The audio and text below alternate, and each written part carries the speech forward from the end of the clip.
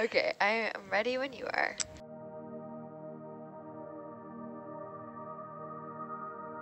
Hey, so I'm Erin. Hey, Erin. Everyone, I'm Maddie. and we're actually just um, transiting back from Johnston Atoll to Honolulu. Yeah, uh, probably about 400 nautical miles or so from Honolulu right now. Uh, yeah, and heading back after 20 plus days out in the Pacific. That's right. We're just coming back from the Johnston Atoll unit. It's one of the most remote regions in the entire planet. And it's actually the work that we've just been doing is going to be used to inform our next ROV dive. Yeah, that's right. So um, we have been focusing on seafloor mapping, um, and we are seafloor mapping for a lot of reasons, but one of the primary reasons is so that we are ready on the next expedition to get those ROVs in the water as quickly as possible. Absolutely, and many of the targets that we've actually um, dove on on this in these last three weeks are those that we are probably going to bring the ROVs in. And, and Erin, you have best the best eyes on those, right? Uh, well, me and the entire mapping team, um, because they've all been staring at them a lot every day and helping to build up these coverage maps and, and yeah, really get us ready to go so that they can hit the ground running. Can we take a look at the data and, yeah. and get a better idea? Let's take a look. So. Um, we're looking at data in Fledermaus, which is a software we like to use for visualizing our ocean mapping data. Um, and I'm kind of starting here in Oahu. And I'm just going to zoom out to say that as our base maps, we uh, do have what looks like a map of the ocean, but this is just satellite altimetry, which you might have heard us talk about before. And that's just an estimate of what the seafloor looks like. And sometimes it's pretty good, and sometimes it's not great at all. So we, uh, we try to do some mapping to improve that situation. So this is just the kind of generic overview, but I'm going to bring us in and show our data now. So I'll turn on our coverage from our mapping. And you can see we started mapping, if we're looking at the bright line there, we started mapping just off of Oahu. As soon as we're on areas where there's no coverage by high resolution systems, um, we turn on our sonars and we try to build up our data set both for where we're planning to work, like Johnston, which is here, but also in international waters and in and around Hawaii as well. So always constantly trying to help build this continuous map of the seafloor because the data really is so sparse and any little bit that we can contribute does help the, the bigger picture and the, the global map of the seafloor.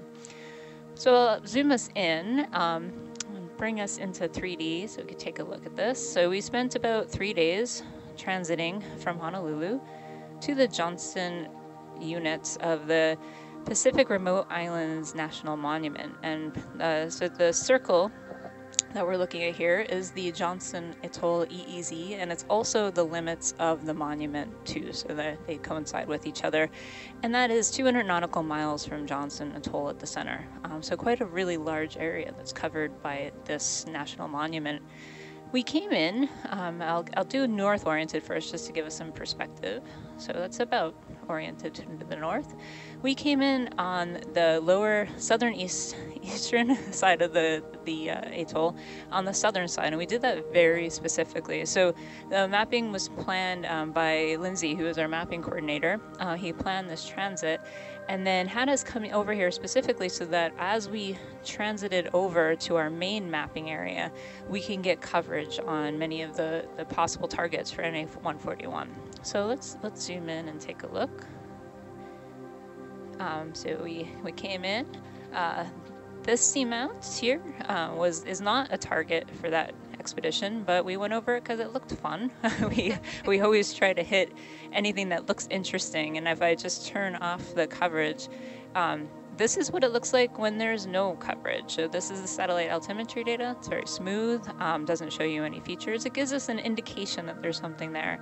But then when we actually uh, go over it with our sonar, we start to get really nice detail. And we can see this is a, a, a guyot or a flat top seamount that we passed over. We continued along and mapped our way along the edge of the EEZ. And one of the first seamounts we encountered was this one, um, which is target three for NA-141. And though I can't split it out now, on our first pass, we only got to go over this once. So there was just one kind of pass over the top of it. And we all kind of got the feeling that we wanted to come back because it's such a really large seamount. It's, uh, it's massive. We still didn't even finish it. Um, we did as much as we could when we came back to hit it on our way out. Um, but you can see there's still quite quite a bit of potential seamount to go. We got um, pretty nice top of it, And if I turn off the satellite altimetry so you can see it really clearly, um, just some really nice detail on that target 3 seamount. It's really such a difference, isn't it? Oh, it's yeah, it's. yeah. I mean, sometimes you could be like, eh, you know, with smaller features, did it really add much? Um, it adds a lot right? A lot of detail, and the kind of detail that the scientists want to be able to plan their dives. Um, they like to target ridges typically, um, and the features with a, a lot of um, topographic difference um, so that things can hold on to it. So this kind of map will let them make their dive plans much more easily without a lot of guessing. it's a better indication. So after target three, um, we continued up and hit this target, which is number two. Um, I will now turn on a little bit of background bathymetry. So the reason it looks like there is a gap in the top of that one is because this seamount was partially mapped already. Um, so that was the data that did exist, and I believe that was a Nautilus pass, um, which is pretty cool. We did that a few years ago, um, but we wanted to try and get the sides of it as well in preparation for dive planning. So if I turn our coverage back on and turn that one off, you can see we got nearly complete coverage on that seamount number two, and so totally ready for the next expedition. Continuing on, uh, we passed over target six, another pretty cool seamount. And if I turn on the base map for that one, turn on the GMRT. Again, completely unmapped, nothing there to see, just a gentle bump in the satellite altimetry. But with the multi-beam sonar, getting really nice detail, the multiple kind of star-shaped ridges that you get on some of these seamounts, and just really, really great detail. We continued up, and all of this took um, this kind of gentle move to our main area. Took a couple of days. Um, we just kind of progressed over there. This is a huge area, and that's part of the thing that, um, part of what people may not understand how gigantic these areas are. We would, some of these lines, we'd be driving in one direction for 10 hours or, or 15 hours without any change in direction. And all of that was still happening within the monument. I just think that's amazing. Right. And when we say seamount, we're really saying underwater mountain, right? Yes, I mean, exactly. huge features. huge, huge features. Yeah, these are rising 4,000, 3,000 meters um, off the off the seafloor and just yeah, gigantic, um, just like a mountain that you picture if you're driving around Hawaii or anywhere else. Um, so continuing on, um, cross over the ridge. Um, this is target seven, uh, another potential seamount that they were thinking of diving on. And continuing on, and you know, always catching little bits every now and then. So here we didn't have enough time to spend time here, but you can see even in the, the lower interest areas, we always have our sonar because there's no data there and there's always some interesting little bit that tells you a little bit more of the story about what's happening on the seafloor. And then continuing on, um, got up here, and this was later, but um, we spent actually quite a few days just doing some gap filling mapping. So in addition to working towards uh, NA141 goals of hitting these targets, we are also tasked by our, our partners and sponsors at the NOAA Office of Exploration to fill in gaps in coverage, right? And so there was um, a pretty massive gap here. If I turn off the coverage, um, people had nicely mapped these seamounts. Um, actually, this group of seamounts were mapped by John Smith, who's on the ship with us on this expedition. Um, he did those on the Falkor. But there was all this kind of area around it that was not mapped. So we took the time to go and fill that in. And there was a lot of flat, if we remember, yeah. it's a long time ago. But we had a few days of some really flat abyssal plain kind of terrain. But then we got some nice surprises, like these little features here. I turn on the, off the GMRT. Um, these cool little kind of small but still pretty massive bumps on the seafloor. Um, and it added some additional coverage to the seamounts as, um, as well. So always always building up that coverage and, and filling any gap where we can. This was a, to get us up over a gap, as was this. From there, we went, I don't know, to, oh, one more seamount. We'll talk about that one. this is which target is it? I can't read it. That is target 10. So another potential seamount um, that is planned for NA141. And then onto my favorite, um, this ridge feature. So this was uh, this was pretty cool um, from a geologic perspective, and also of interest for NA141. And what's interesting about this? Well, uh, the orientation is interesting. For one, it's kind of more east-west oriented.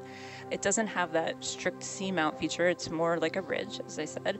Um, but just, I don't know, just some really cool bathymetry of just looks like the seafloor being pulled apart. Um, just really liked it. But more technically, what was important about this? Um, the geologic team was interested, the scientists coming on the next cruise were really interested to dive on this, but were unsure if any of it was actually within ROV dive range. So the limitation for ROV Hercules is 4,000 meters. And when we were planning on where we might dive and then where we might map, we could estimate where 4,000 meter was, uh, 4,000 meters was using the GMRT or the that background map that I showed you. And this is, it's they're not draped, but showing us kind of the overview perspective of what showed up as being above 4,000 meters. And based on the satellite altimetry, this was going to be the only place, this tiny little spot was the only place that would be within dive depths for ROV Hercules. Um, and then there was one little spot up there too. Um, and that's just kind of perspective that's throwing it off. But it was kind of maybe the very tippy top of this.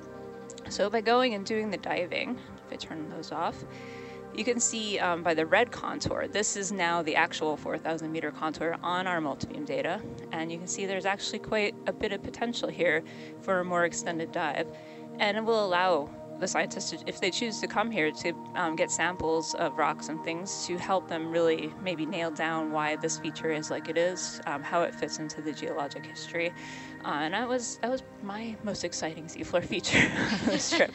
I just think it's the, the coolest. Uh, so we call that the, the ridge feature.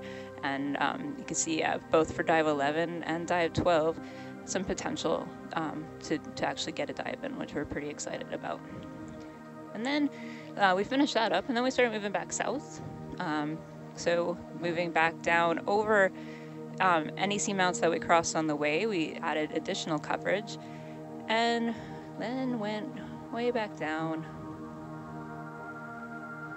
and finished pretty much anything we could. So I think that's kind of the overview of what we did. Um, you'll see these spaces, these uh, numbers floating here, they are also potential dives, but either they were covered already, so you can see dive number 13 and dive number 14, we had really good bathymetry on already.